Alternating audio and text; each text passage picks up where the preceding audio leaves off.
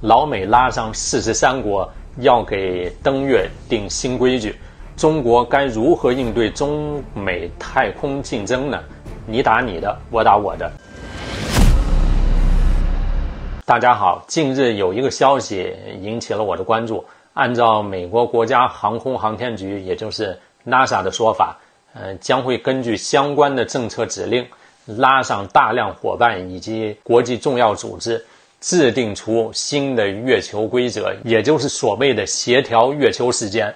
按照美方的计划，一旦这个规则得到认可，那么，今后任何国家想要在月球上进行科学研究和探索，在时间上都应该以这个新规则为标准。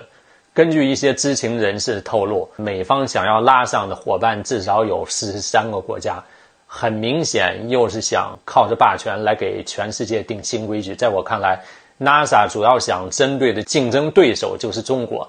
为什么这么说呢？当下能够在太空中与美国竞争的国家，无非就那么几个。俄罗斯肯定是没有太多的精力忙这些事儿，毕竟还要解决俄乌冲突。呃，其他几个航天技术先进的西方国家，说白了就是美国的跟班。那么可想而知，最后也就只剩下中国这个对手了。更何况，我国就在前些时候发布了国家空间科学中长期发展计划。其中最重要的一个项目，就是要在二零二七年左右实施载人登月探测工程。反观美国航空航天局，不仅明年九月份要进行载人绕月任务，很可能无法按计划准时发射，甚至还承认不可能在二零二七年之前完成载人登月。换言之，只要我国能够顺利完成载人登月工程，那么，美国将会面临一步落后、步步落后的局面。另外呢，呃，一直以来有不少专家学者质疑美国多年前成功载人登月是在造假。如果我们成功登月后发现了一些与事实不符的证据，可想而知，美国在国际社会上的信誉度将会跌到谷底。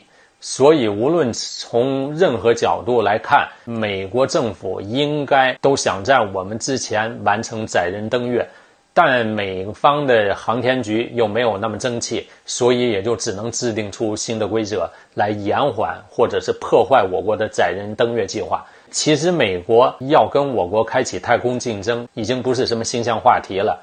最主要的是，我们到底该如何应对呢？相信大家都非常熟悉毛主席的兵法精髓：“你打你的，我打我的。”我认为这就是最好的应对办法之一。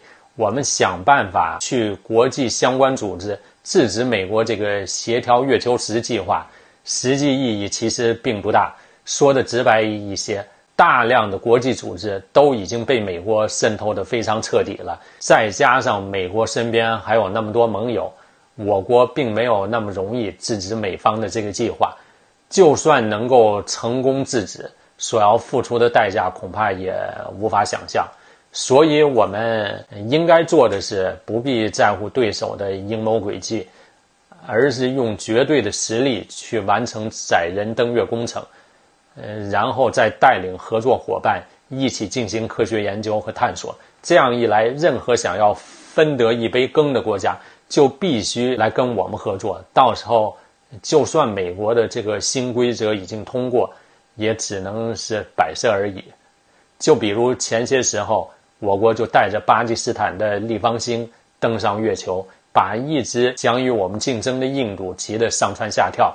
呃，最终印度只能跟我们恢复关系，据说立刻就提出要跟我们在太空项目上进行合作。